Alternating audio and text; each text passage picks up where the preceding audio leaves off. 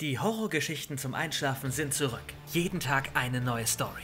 Zuerst gibt es die auf Spotify, Apple, Amazon Music und Co. Folgt dort auf jeden Fall unserer Playlist. Erster Link in der Beschreibung. Alle Stories sind fiktiv. Bitte niemals etwas nachmachen. Und jetzt viel Spaß. Oh Mann, der Zug ist ja viel zu teuer, denke ich mir, als ich auf die Deutsche Bahn-App schaue, um mir ein Ticket nach Innsbruck zu holen.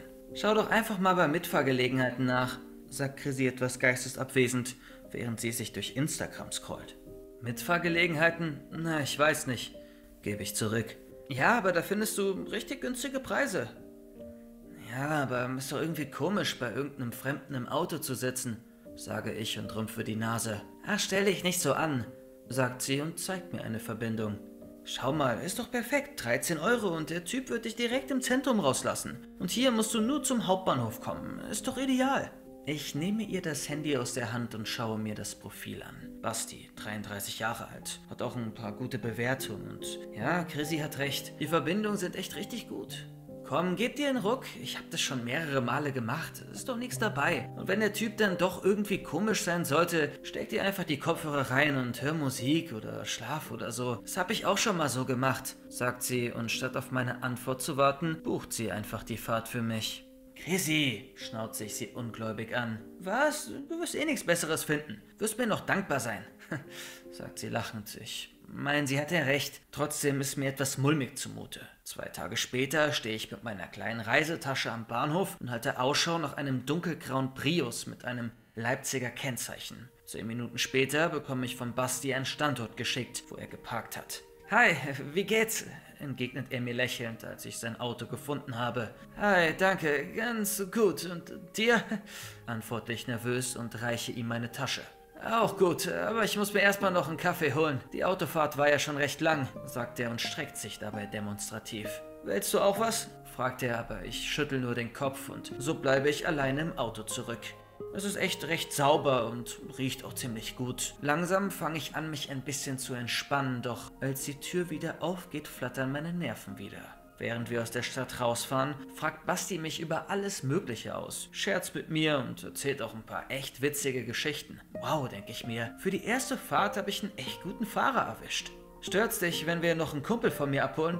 Fragt er mich dann. Der hat mir vorhin spontan geschrieben, dass er auch nach Innsbruck möchte und ob ich ihn mitnehmen kann. Wir würden uns wahrscheinlich dann um so eine halbe Stunde verspäten. Nee, ist nicht schlimm, passt mir total, sag ich lächelnd. Wir halten in irgendeinem Kaff an und dann kommt auch ein großgewachsener Typ auf uns zu. Na, Basti, altes Haus, lang nicht mehr gesehen, sagt er grinsend und klopft ihm freundlich auf die Schulter. Und du bist, wendet er sich mir zu, äh, Lena, antworte ich und gebe ihm die Hand. Ich bin Joseph, aber kannst mich auch einfach nur Joe nennen. Weiß auch nicht, was sich meine Eltern bei dem Namen gedacht haben.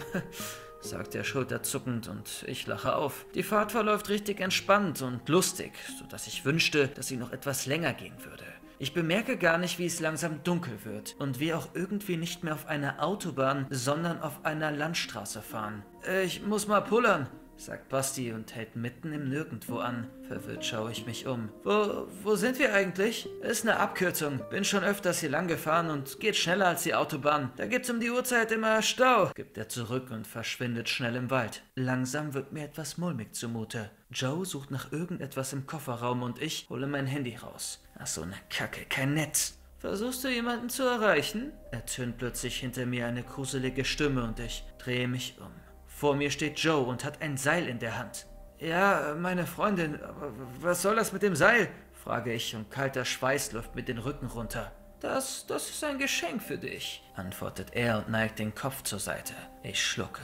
Was meinst du damit? frage ich mit zittriger Stimme und mache einen Schritt zurück. Doch schon im nächsten Moment spüre ich, wie jemand mir in meine Arme greift und sie hinter den Schultern so kreuzt, dass, sobald ich versuche, mich zu befreien, es höllisch wehtut. Lass mich los! schreie ich hysterisch auf und versuche irgendwie meine Arme frei zu bekommen. Du wirst mir niemals entkommen können! Ich spüre plötzlich einen heißen Atem in meinem Ohr und fange an zu zucken. Basti ist derjenige, der mich überwältigt hat und schon im nächsten Moment werde ich von Joe gefesselt und falle auf den Boden. Was wollt ihr von mir? Ich hab euch doch nichts getan! schreie ich heulend und ringe und zehre an dem Seil. Doch je mehr ich mich bewege, desto enger wird es, bis ich erschöpft aufgebe. Ach, es macht doch immer wieder Spaß, sie bei ihrer Hilflosigkeit zu beobachten. Findest du nicht? fragt Basti Joe und dieser antwortet ihm mit einem hässlichen Grinsen.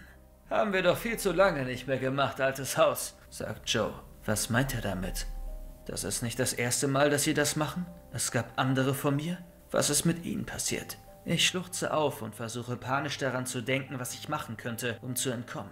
Doch schon im nächsten Moment wirft Basti mich über seinen Rücken und ich werde irgendwo hingetragen. Thank you.